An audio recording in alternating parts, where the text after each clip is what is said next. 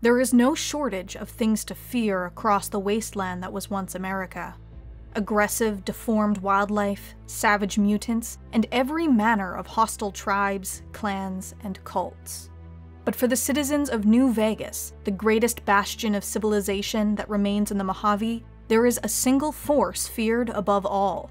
It lies encamped on the eastern shores of the Colorado River, a nation of slaves driven endlessly forward at the end of a lash. This is Caesar's Legion, and it shall not rest until its banners fly across every city and settlement of the known world. As its name implies, Caesar's Legion is an autocratic society governed under a totalitarian dictatorship. Caesar, a man formerly known as Edward Sallow, rules over this army with absolute authority, the sole master of its unyielding hierarchy. This rigid chain of command and clear division of roles is a necessity in maintaining order among the myriad of tribes that have been forcibly absorbed into the Legion. As Caesar integrates new peoples and merges them into his forces, they are stripped of their previous tribal identities until there is no other tribe than the Legion itself. Those who exist outside of the Legion's control are branded dissolute or lacking in morals, while those that are both separate from the Legion and hostile towards it are profligates. Recently caught men and women are known as captures and constitute the lowest tier in the Legion's hierarchy, for these people, their only right is to be tested as a slave. Those who fail to meet the requirements are immediately disposed of. Slaves remain only one step above captures and are expected to adhere to the virtues of a slave honesty, industry, and prudence. Slaves are given a new name, forced to wear rags marked with a red X painted across the chest, and required to follow their master's orders without question or hesitation. Newly inducted slaves might be forced to wear slave collars based on their temperament, but these are typically removed when the individual has either been fully pacified or transported deeper into Legion territory. The children of slaves are taken from their parents at birth and placed in the care of priestesses. From here, physically fit males might be chosen to serve as a legionnaire. First and foremost a slave army, such able bodied males, whether captured, conquered, or born into the Legion, are expected to fight and die for the Caesar. This singular purpose is imprinted during a soldier's upbringing or reconditioning, until it develops into an inherent unconditional loyalty. Neither seniority nor experience has any bearing on a soldier's position within the Legion's hierarchy. While some may be given better equipment or more critical missions to accomplish, they remain disposable human tools in the eye of the Caesar, and are discarded the moment they stop fulfilling their purpose. Should a new recruit survive the perilous and brutal training necessary to become a legionnaire, they are nevertheless subjugated to a life of hardship.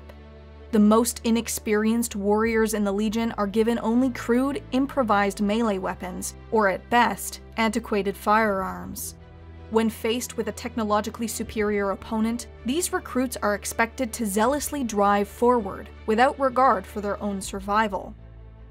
Recruits that survive long enough and perform their duties admirably are granted the right to be named Prime Legionnaires.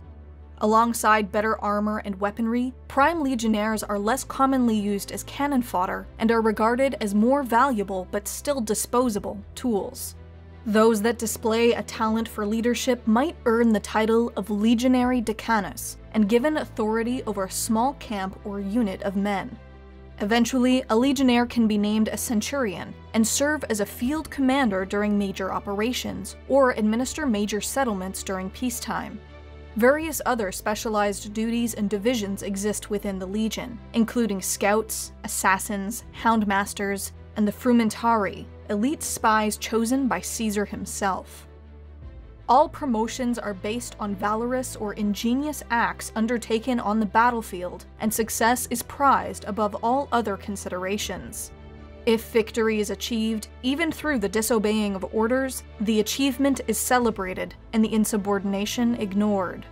While competence and proficiency is rewarded, failure is met with serious injury or death. No member of the Legion, save perhaps Caesar himself, is above consequences for his failings. Many legionnaires, when defeated in battle, will often commit suicide rather than suffering at the hands of the Caesar's executioners. Women perform the role of a support corps, serving as caretakers, midwives, and breeders to support the continuous expansion of the legion. Consequently, women are forbidden from serving in combat, and a pervasive culture of misogyny exists within the legion. While both male and female slaves are powerless under the authority of the Caesar, women have the dubious distinction of being labeled subhuman. While such sweeping brutality is scorned by other major civilized factions, it cannot be denied that the tactics employed by the Legion have brought it enormous success. Caesar might be widely hated, but in the wasteland, respect for power is often the only factor that matters, and rival tribes will often voluntarily submit. The Legion is ruthless, but their territories are among the safest in the wasteland. Travelers, merchants, and settlers here can live almost without fear, knowing that savages, raiders, and hostile wildlife have all been wiped out by hardened legionnaires. These achievements, at a time when safety and order are rare commodities across the wasteland, have brought some level of credibility to Caesar's cruel and militaristic ideology. According to Caesar, the atomic war that brought ruin to mankind was sent by Mars, the god of war, so that the Legion might be given the opportunity to unite all of mankind under one society. The Legion regards alcohol, chemical stimulants, and other pointless luxuries with disgust. In their view, such frivolities are used by the rich and powerful to keep their citizens addicted to consumerism, draining their wealth and rendering them powerless.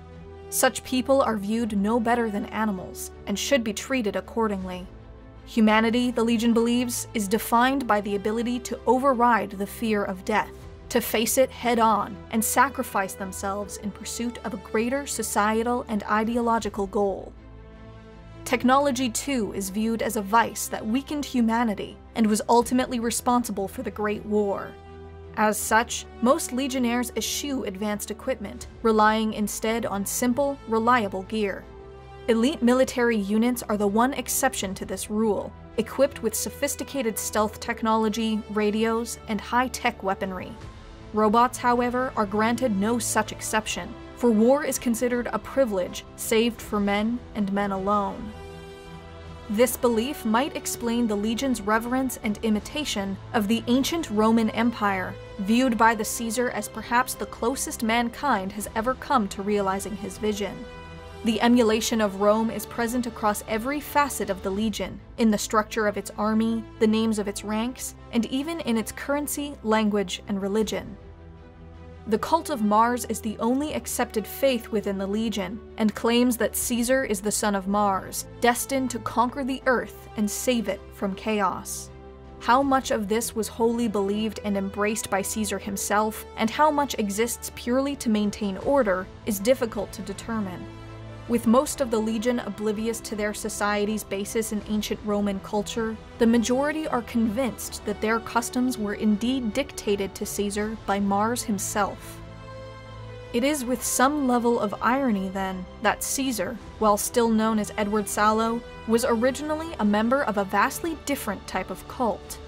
In 2246, the followers of the Apocalypse, keepers of ancient knowledge who vowed to ensure the horrors of the Great War were never repeated, sent Sallow and eight other members to the Arizona wasteland. Here, Sallow met with Joshua Graham, a new Canaanite missionary and a specialist in the dialects used by the local tribes. The pair was captured soon thereafter by one such tribe, but Edward used the knowledge he had gained as a follower of the Apocalypse to help, and later directly lead, his former captors to victory against their rival tribes. Edward's expertise in military tactics and strategy was admired so greatly that he was named the leader of the tribe that had captured him. He took the name Caesar, and in this moment, the Legion was born.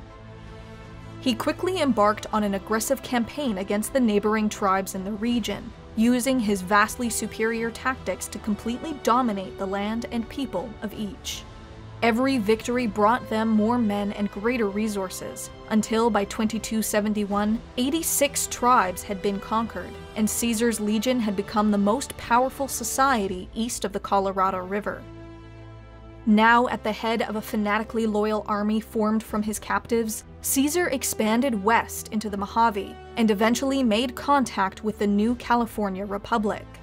For the first time, the Legion had encountered a foreign power that equaled and even surpassed their discipline and fighting doctrine. A democratic state built on mercantilism, the NCR was hated by the Legion, and in what would become known as the First Battle of Hoover Dam, the two forces finally met in open conflict.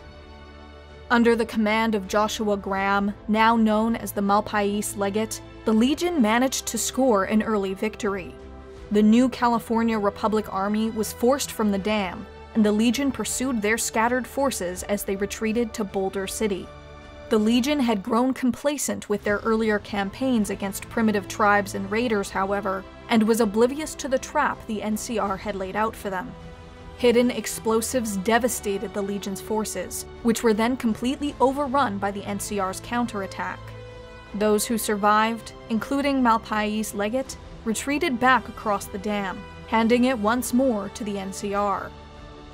The defeat enraged Caesar, who ordered Malpais Legate, his former friend, to be covered in pitch and set alight. His body was cast into the Grand Canyon, and any further mention of his name was forbidden. Some claim he somehow survived, however, and slaves and legionnaires alike now whisper in secret of the burned man. By 2281, the Legion had re established its power in the West and rebuilt much of its army. Caesar had not forgotten the defeat he had suffered and was determined to crush the new California Republic in the Mojave before moving on to New Vegas. The city was seen as an ideal capital, a Rome worthy of Caesar. The final fate of New Vegas and the greater Mojave remains unknown, but so long as Caesar's legion is forced to share the wasteland with the new California Republic, there will be war. And war never changes.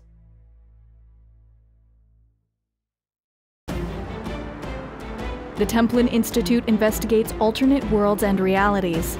If you've enjoyed this video and would like to directly support us, vote in polls to determine future topics, and receive some cool rewards, please consider pledging to our Patreon page.